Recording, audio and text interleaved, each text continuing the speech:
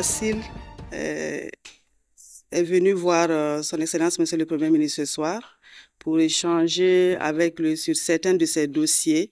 et notamment un projet de décret portant perception des redevances qui est en cours d'élaboration et qui doit aller en conseil des ministres pour adoption. Donc, on a jugé opportun déjà de venir s'entretenir avec euh, Monsieur le Premier ministre sur ce dossier pour déjà lui donner l'information et recueillir également euh, certaines orientations s'il y a lieu pour mieux finaliser euh, le projet de décret avant que ça n'arrive euh, en Conseil des ministres. Et au-delà de ça, on a profité d'échanger également avec euh, Monsieur le Premier ministre sur euh, d'autres aspects, surtout les questions de bâtiment de la CIL, parce que la CIL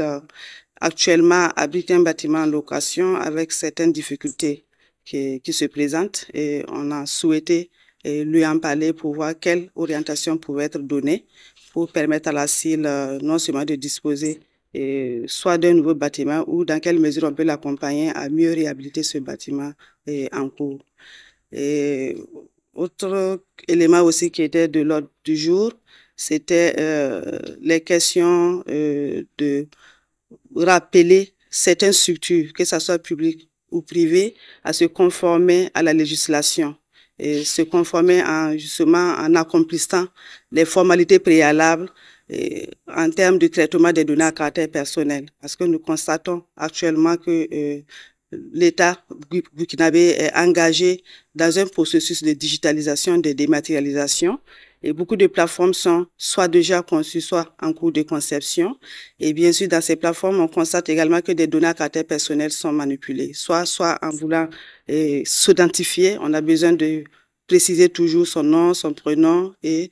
sa date de naissance ou d'autres informations qui sont considérées comme données à caractère personnel. Donc, il est important que ces structures puissent déjà se conformer à la réglementation en procédant à cette déclaration ou en accomplissant les formalités préalables pour les permettre de pouvoir faire le traitement de ces données à et être en règle. Donc voilà un peu euh, en substance les échanges que nous avons eus avec euh, son Excellence, Monsieur le Premier ministre. Euh, ce sont des, des recettes qui doivent être perçues à travers les formalités. Donc comme formalité, ce sont les déclarations de traitement de données à caractère personnel, les, les, les demandes d'autorisation simplifiées, comme les domaines d'autorisation normales. Également, euh, la réglementation de l'utilisation des appareils de vidéo, des systèmes de vidéosurveillance qui sont installés, dont la CIL est en train d'élaborer des modèles de pictogrammes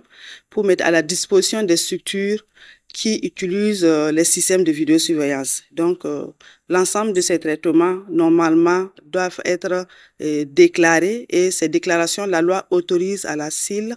et au, regard également de la loi organique qui donne la possibilité de pouvoir faire des perceptions des recettes. Et ces recettes, ce sont des recettes qui vont bien sûr aussi alimenter les caisses de l'État, d'une part, mais aussi une partie pourra permettre à la CIL d'être plus ou moins